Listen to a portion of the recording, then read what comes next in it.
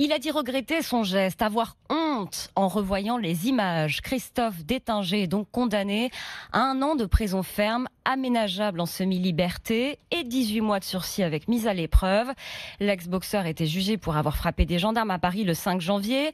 La semi-liberté, ça veut dire qu'après un passage devant le juge d'application des peines, Christophe Détinger dormira en prison mais pourra être dehors et travailler la journée. Sachant qu'il risquait jusqu'à 7 ans de détention, sa sœur Sylvie est plutôt soulagée. Je suis mitigée euh, parce que forcément, euh, on n'est pas content de savoir que ce soir, il va dormir en prison et pour les prochains jours, euh, les prochains mois. maintenant, on est content parce que, comme je vous disais, ça fait un mois qu'on entend et qu'on était conditionné à, entendre 7 ans, 7 ans, 7 ans.